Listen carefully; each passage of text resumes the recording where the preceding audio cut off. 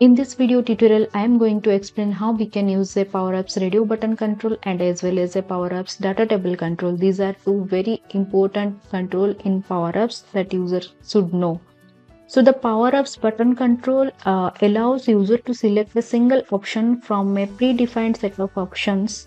It's used. Uh, it's commonly used for making choices. Uh, you can see in forms or surveys but uh, there are some key features like user can only select one option at a time wherever the power apps data table control uh, is used to display tabular format or tabular data from a data source like SharePoint, Excel, SQL.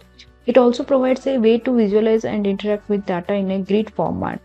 You can connect uh, you can connect to data sources such as SharePoint, Excel, or SQL database, and you can uh, show those data in inside the data table control. So let's jump to my uh, Power Apps application and show you how you can use both the controls in the screen. In this application, you can see this is a screen where I have uh, inserted one uh, radio button control. These are two radio button control actually. First one, I have entered uh, items manually wherever in the second one, I have entered uh, items uh, from a SharePoint list. And uh, the second one, I will tell you like this is the data table control where I have entered I, I mean I have displayed this item manually so as well as this is the third screen where uh, you can I will tell you uh, step by step how you can display SharePoint list item in a Power Apps data table. So this so this data table looks like this after uh, displaying the uh, all the SharePoint list item into the data table. And in the fourth one i will uh, tell you uh, one basic scenario or one useful scenario that how you can use a radio button control and a data table control. That means here what i have done here i have filtering uh, the um, data table control items based upon the radio button. Suppose i will uh, choose any of the uh, item over here like HR team or finance team or marketing team. Based upon that the data, the, the data table is filtering out. So let me tell you one by one that how we can use it. Here now i will take another screen. This one blank screen i will take you can design your screen like i have already mentioned in previous video that how you can design your screen like this and that. So you can follow that thing. Here i will only tell the uh, scenario that how you can use it. So for that just add a radio button control. I have added this one radio button control. First you can see here the radio uh, button control uh, default items property. You can see here radio sample. So inside of it you can enter your items manually. Suppose i will enter something like uh, apple and i will enter orange and I will enter something like uh, guava. So here uh, okay, sorry double. So here you can see it is appearing like this. So make sure while you will enter item manually inside a um, radio button control uh, you you must ensure to put a bracket like this starting and ending bracket like this including uh, this uh, inverted comma. Okay so then only you can select any one option from here. Okay i will tell you one more thing. Suppose uh, whenever a user will open the application or maybe they want to see the default item should be orange every time. So what you can do there is a default property you can see here like you can write default. So here you can enter your item. Suppose you want to display the orange whenever user will open the application. Every time the application should open with the orange default item. Another important property I will tell you, uh, there is a property called layout. Uh, suppose you want to show this radio button control in horizontal mode. So what you can do this, there is a layout property, just go to this layout property. And here you can see uh, vertical. Vertical means the radio button control it is displaying as vertical mode. Suppose you want to display in horizontal just put horizontal. You can see here once you put horizontal it will display like this. So this is a uh, best feature in uh, power uh, radio button control that you can use. It's like based upon user requirement. And here you can see in the left side whenever a user will uh, insert a radio button control the radio button control names would be appearing with radio 1 radio 2 radio 3 uh, based upon your requirement you can change uh, the radio button control name like the fruits you can see here. I have changed this one. So like once you double click on it and you will just enter the name it will uh, change okay. Now let me tell you how you can um, display SharePoint list items in a Power Apps radio button control. So i will take another uh, radio button. You can take this one also. But uh, for the i mean you will not confuse. For that reason i will take another radio button control.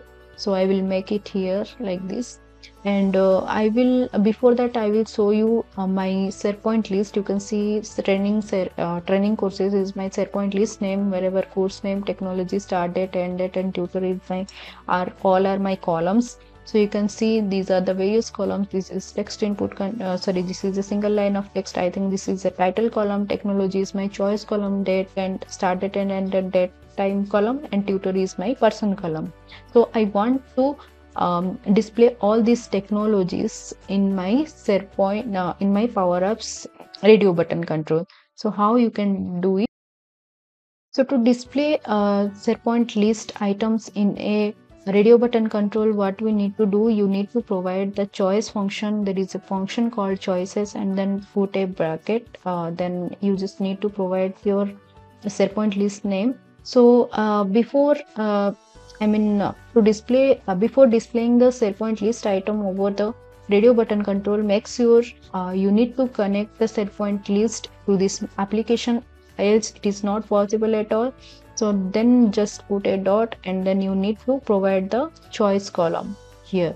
Now you can see whatever the um, uh, like technologies are available in this SharePoint list choice column all these things are available over here. So once you preview this you can make any of the choices like this okay?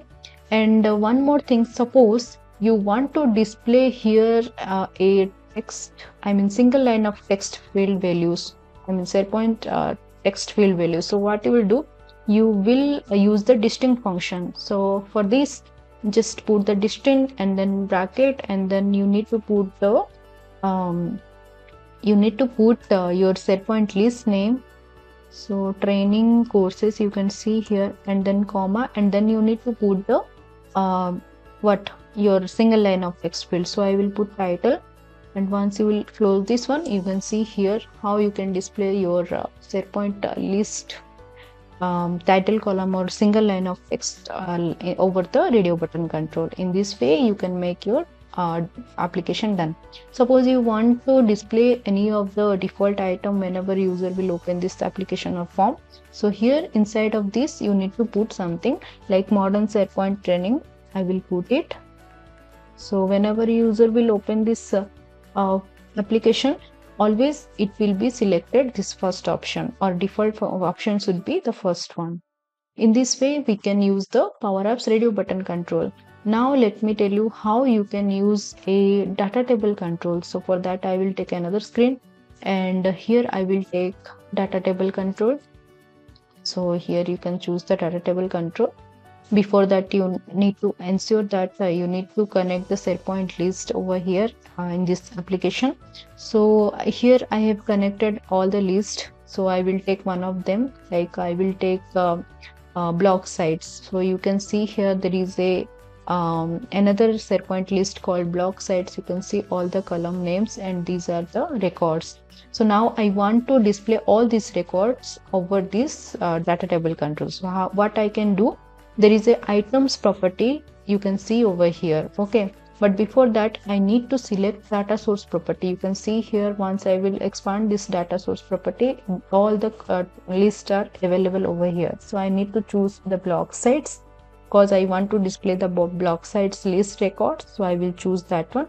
And after that what I needs to do see here it is appearing everything. Suppose uh, in some of the cases what happens actually uh, uh, the fields are not visible at all okay? So for that what you can do or, or um, let's think like uh, suppose you want to uh, remove or you want to hide some of the columns that are not necessary to display over here. So for that what you can do you can see here there is a fields property. You just select over here and you can see suppose you want to add any extra field then you can choose any of the field. And then once you click on connect it will add or add uh, it will add the field. Suppose you want to uh, remove any of the column over here just you can click on this ellipsis or more action and then you just click on this remove option. Suppose i want another one i want to um, remove so it will be like this. So in this way you can remove the uh, columns as well. Suppose you want to display this uh, site walk or active or, or inactive field uh, like first i mean before the title. So you just need to drag and drop over the title i mean before the title. So first it will display active or inactive and then title and then site url like this okay?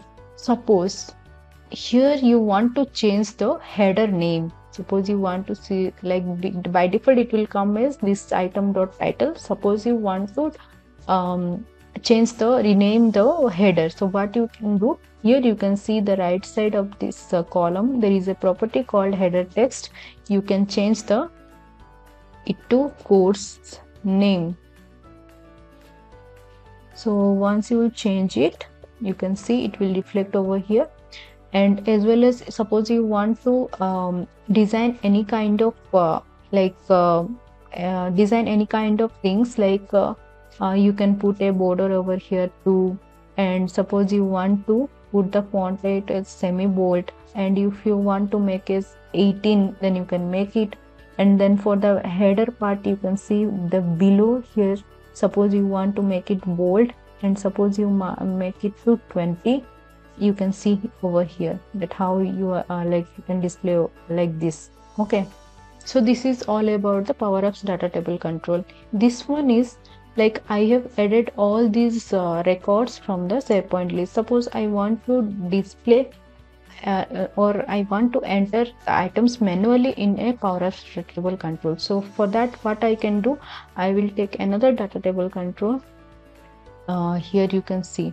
So here I will not take any type of uh, like connector. I just want to display my manual item. So for that, you can see here items property is there. Just you need to put some record like this, like inverted comma within the bracket suppose I will put something uh, Cristiano and I will put Smith I will put Harry. So here you can see here still the data is not visible inside the data table control. For that what you can do you just go to the edit field just add field. You can see over here there is a value property. So just click on it add i mean just select the uh, value and just add it. Now you can see there is a i mean you can uh, but in this way you can use the or you can enter the items manually inside a data table control. Here suppose the value or the header you want to change it. For that you can change it over here. There is right side a property called as header text. So once you will click on it you can uh, change the header. Okay. So in this way we can use a data table control. Finally i will show you like how we can filter out this thing. I mean based upon this example so that you can understand properly. For that what we can do i will take another screen. Uh, let me show you. I will tell i will uh, take another screen. And uh, here i will take another uh, radio button control. Okay. And here i have uh, i will change the layout is uh, horizontal it is vertical so I want to make it horizontal and I will just copy paste everything okay? So just you need to put uh, I already told you how you can enter the item manually inside a um, this one radio button control. So so you can put it like this. Sorry this is a layout property. So I just put it wrongly. So it is horizontal and just go to the items property of it and uh, items. Yeah here it is items. So just radio sample just i will put it like this. You need to change your background color or whatever. You can do it uh, like uh, the right side properties are there. You can do it as per your need okay? And then i will take a data table control over here. So data table control I will uh, now I will filter the record based upon these values. Okay. So for that I will just um, copy paste the code. I will I will use a function called as filter. Okay. For filtering the things there is a uh, Power Apps function called as Power Apps filter or filter function. So I have just uh, copied the code and I will paste over here. You can see here like scheduled event is my uh, list name. You can see here before that i will show you that list name schedule event. So this is my list actually. Now i want to um what? I want to uh, filter out these all these item based upon my uh, this one.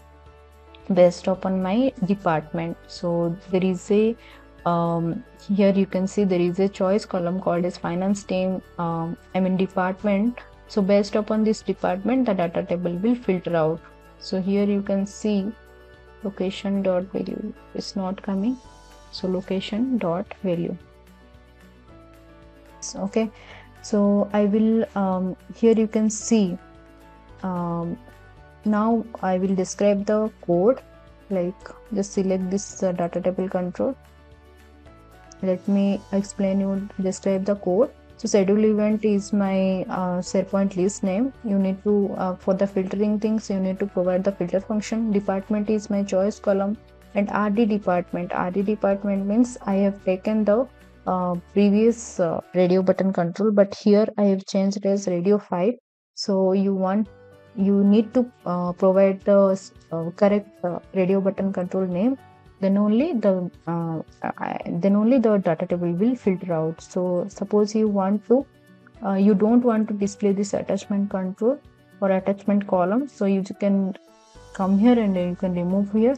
So now just i will preview this one. And once i will click on this hr team you can see the data table is filtering out like this. Once i will click on admin it will filter out like this.